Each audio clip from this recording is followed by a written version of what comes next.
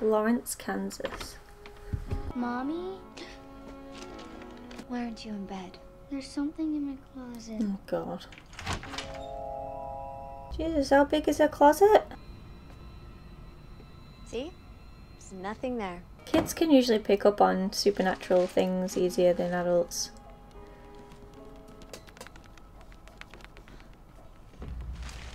Oh, please don't be more bugs. Please, God, don't let it be rats.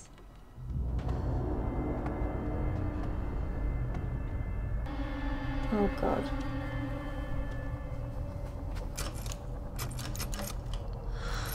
Terrific.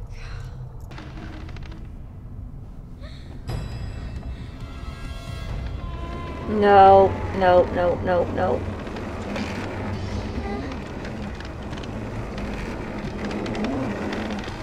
Scream, girl, scream. They're going to be haunted by the people that lived there before them.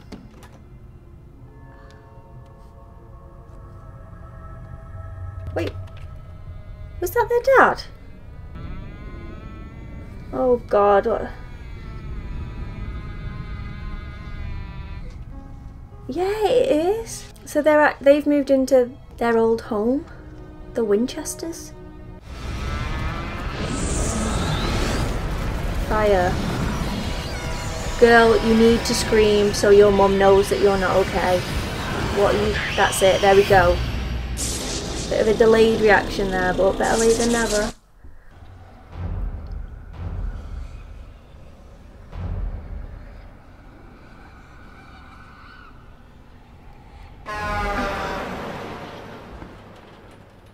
Was that their mum?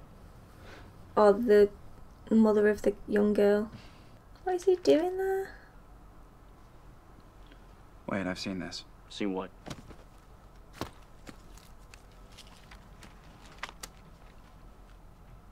Dean, I know where we have to go next.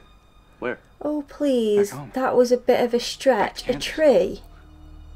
Okay, random. Where'd that come from? Gonna sound crazy, but the people who live in our old house, I think they might be in danger. Why would you think that? You gotta trust Has me he on got this, like okay? a gift now? He's got like Okay, whoa, whoa, whoa. Trust you? premonitions or Come on, man. That's something. weak. You gotta give me a little bit more than that. I have these nightmares, and sometimes they come true. So he does have premonitions. I dreamt about Jessica's death. No, I dreamt about the blood dripping, her on the ceiling, the fire, everything, and I didn't do anything about it because I didn't believe it.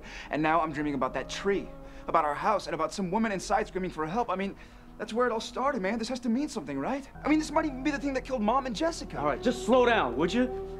He's very sensitive when it comes to his mom, isn't he? It was so funny. You know, I, I think I found some of your photos the other night. You did? Yeah, come on in. Yes, two fully grown men that I have never seen before coming to my house. I'm not at all afraid. Ashton and Vic was here when they lived here. She had a nightmare the other night. I wasn't dreaming. I came into my bedroom, and it was on fire. You hear that? Oh a figure on fire. We just gotta chill out, that's all. You know, if this was any other kind of job, what would we do? We dig into the history of the house. Exactly. Except this time we already know what happened. Yeah, but how much do we know? I mean, how much do you actually remember? About that night, you mean? Yeah. So he's not actually researched Not his own I remember the history. fire, the heat, then I carried you out the front door. You'd think they'd know the ins and outs of what happened on that dreaded Yeah, well, you never knew that? We have to figure out what happened back then. He really needs a And see if haircut. it's the same thing. And right in his eyes. Yeah. Talked to Dad's friends, neighbors, people who were there at the time. This is John Winchester. Dad, I know I've left you messages before. I don't even know if you get them. I'm with Sam, and there's something in our old house. I don't know if it's the thing that killed Mom or not. I don't know what to do. I need your help, Dad. Well, he's a good crier, isn't he? Don't you worry about a thing. Oh, no way. Your wife is crazy about you. She's from Grey's Anatomy. Poor bastard. His woman is cold banging the gardener. Oh, honey, I'm sorry about your girlfriend. Oh, God. And your father. Where is he? Is he okay? I don't know. Don't know. You- You're supposed to be a psychic, right? Boy, you see me sawing some bony tramp in half, you think I'm a magician? I may be able to read thoughts and sense She's my in the room, but I can't just pull facts out of thin air. Sit, please. You think something's back in that house? Definitely. Oh no, leave the kid alone. Gosh.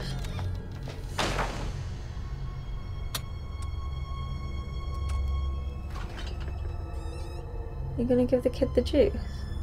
And the kid's gonna try and get the juice himself.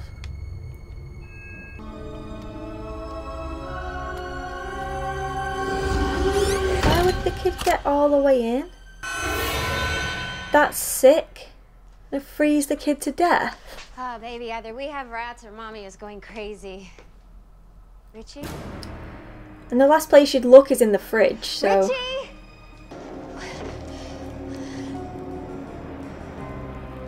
Oh my god.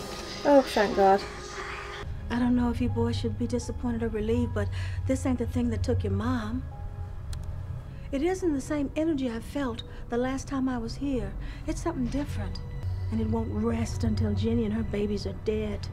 You said there was more than one spirit. There is. So whatever is here, how do we stop it? It should purify the house completely. We'll each take a floor, but we work fast. Once the Why did you put realize that in his mouth? to, Things are gonna get bad.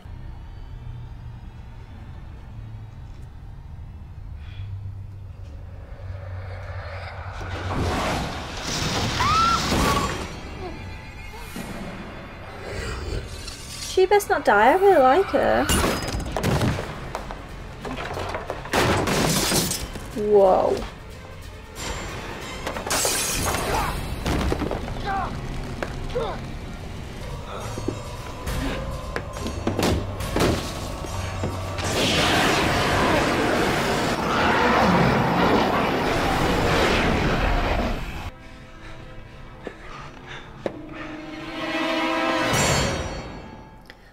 Close one. Hello?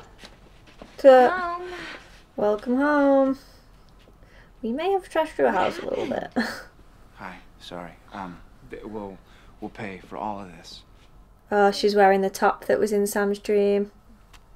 Here we go.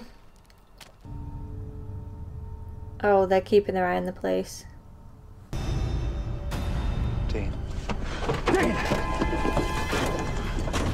The kids, I'll get Jenny.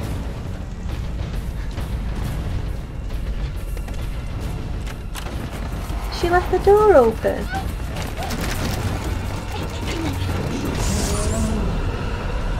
Oh my god.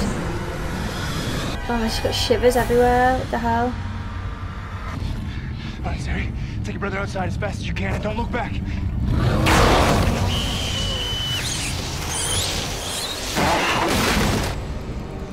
That's exactly what he said to his dad said to Dean. He's inside. Something's got him. Oh my god, what the hell? Sam! Sam! No, don't, don't! What? Why? Because I know who it is. I can see her now. It's their mom. Plot twist. Why were you slamming your son up against the wall? That's not that's not gonna be her actually, is it, or is it? Dean. Sam. I'm sorry. For what? For what? Don't walk off. You get out of my house. And let go of my son. Oh right, okay. So it wasn't her actually doing it, it was someone else. What was she sorry for? Your mom's spirit and the poltergeist's energy, they canceled each other out. Your mom destroyed herself going after the thing. Why would you do something like that? Well, to protect her boys, of course. Oh, so she's no longer the flaming ghost spirit thingy because she took out the poltergeist. So she was in limbo all this time. You sensed it was here, didn't you? Even when I couldn't. She knows that he's got the gift. So I wonder if that's why he's so good with people. I think she knows more than what she's saying. Why he couldn't sense his own father I have no idea. Jeffrey Dean Morgan. Why is he hiding from them? Why don't you go talk to your children? Same. I don't want to. Not until I know the truth. Oh, about what though? That was such a good episode. That was that was really really good. Uh, I feel like we're finally getting some plot, which is great, especially after the last episode. It was this was a, a nice change of pace. It was a lot to take in. We we now know that Mary's spirit was hovering for quite a while, and she saved the boys from the poltergeist in their in their house. Their dad was there this whole time, but chose not to say anything, which I find very odd. I bet most of you know why, but he, he just said that he's not ready to, but I don't really get that. I mean, he could have gone into that house and maybe caught a glimpse of Mary, like the boys saw her. Surely he would have liked that, but he's chose to hide out and let the boys deal with that situation. I don't know, I just find it a little odd. I'm sure there's more to the story and I'm about to find out, but as of now, I'm a little confused. Missouri, I think, is amazing, as you can probably tell. She was just great. I knew she was hiding something, but I didn't know that it was because their father was there the whole time. I thought it was more to do with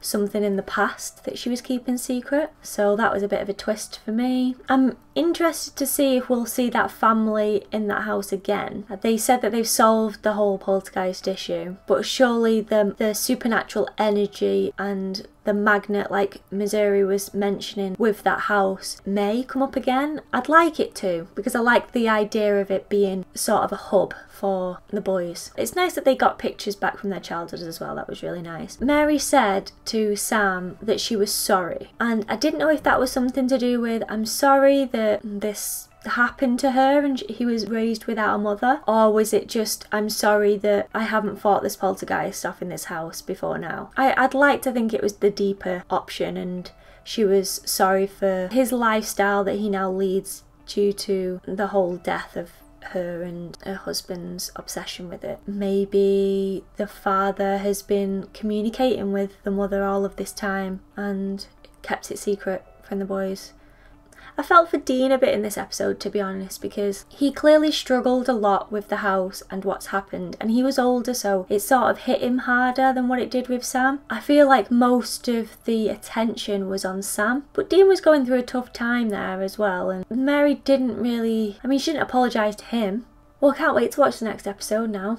So, what was that? Episode 9. Episode 9 is my favourite so far. By far, by a landslide, that was definitely the best one yet.